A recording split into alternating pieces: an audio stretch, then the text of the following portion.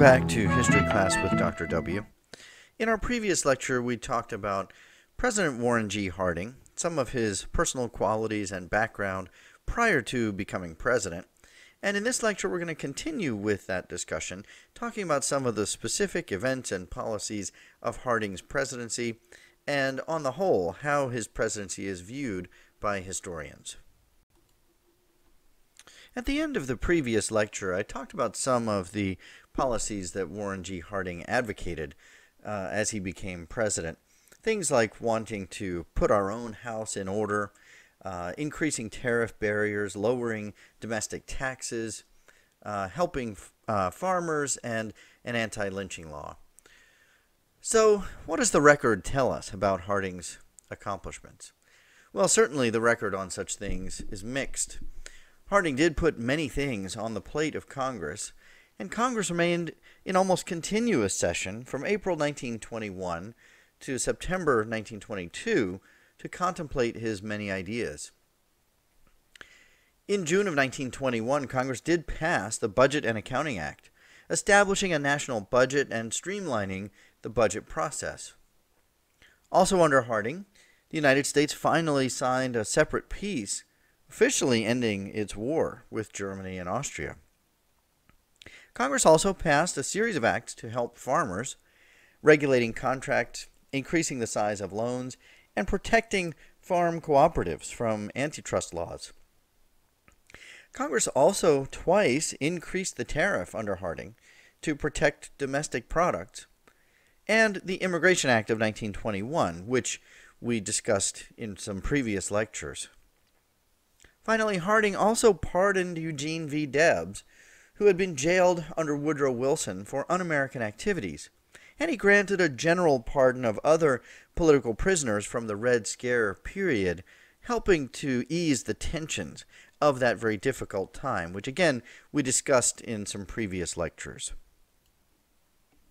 So Harding does notch some accomplishments in that first year or so of his administration. But everything was not roses during that first year. Uh, there were major strikes across the country, as I discussed in previous lectures, and he allowed his Attorney General, Daugherty, to break those strikes viciously.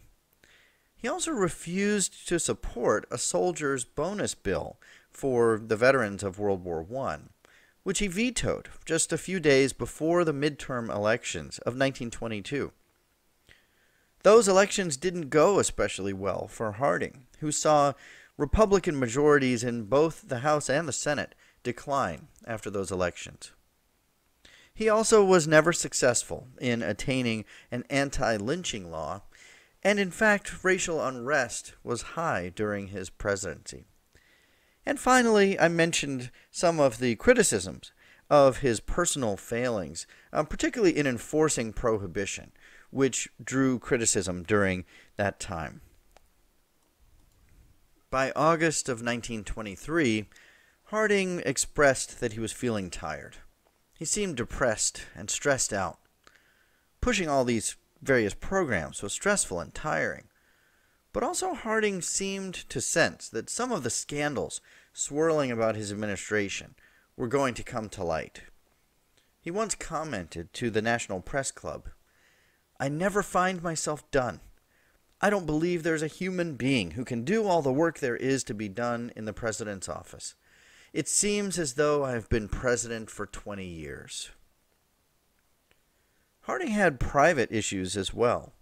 His wife became ill in the fall of 1922. Then Harding himself had a bad flu in January 1923. By the spring of 1923, he appeared pale and weak, not his jovial self. In addition, that spring, rumors of a variety of scandals were beginning to surface. Charles Forbes, the director of the Veterans Bureau, had been illegally selling government supplies from the medical supply base to private contractors at ridiculously low prices. Upon hearing these rumors, Harding called Forbes to the White House and grabbed him by the throat and shouted at him, you double crossing bastard!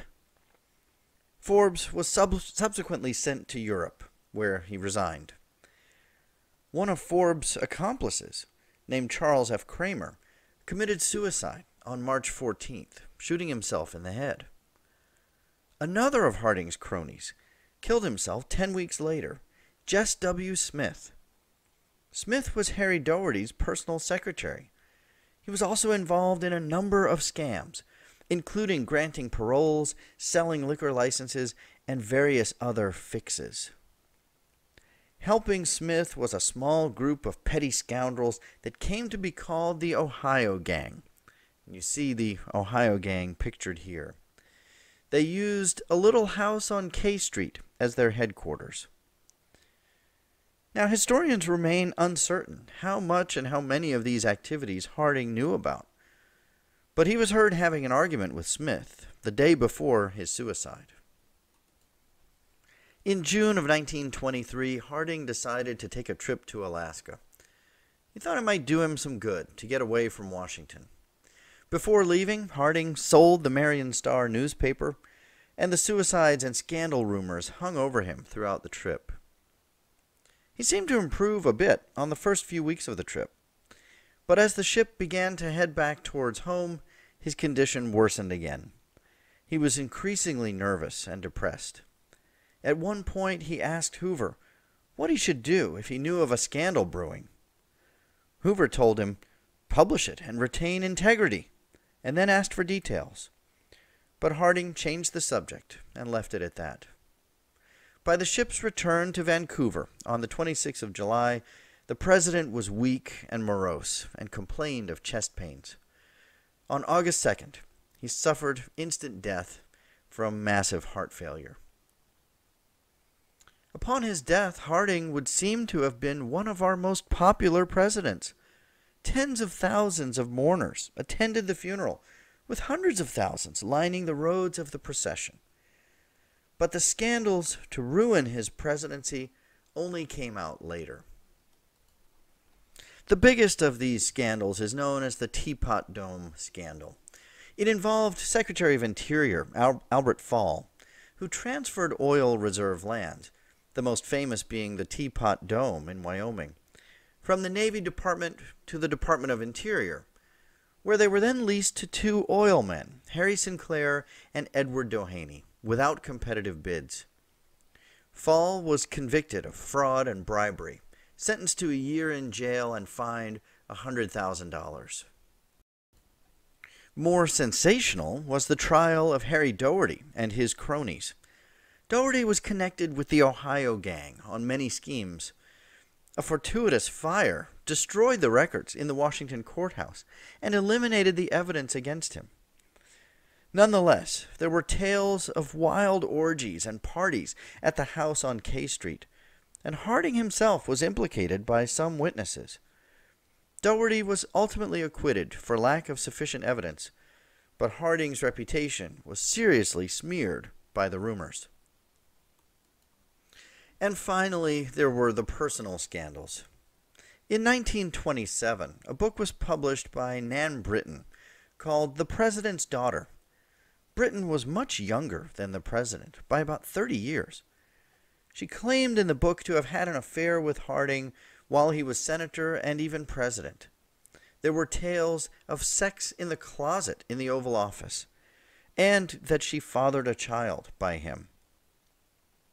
He also carried on an affair with a woman named Miss Carrie Phillips, a Marion woman and wife of the town's leading businessman, for some 15 years. So again, his reputation seriously suffered from these kind of personal scandals, and they've certainly dragged down his legacy and how he is viewed by historians. So, what do we make of that legacy?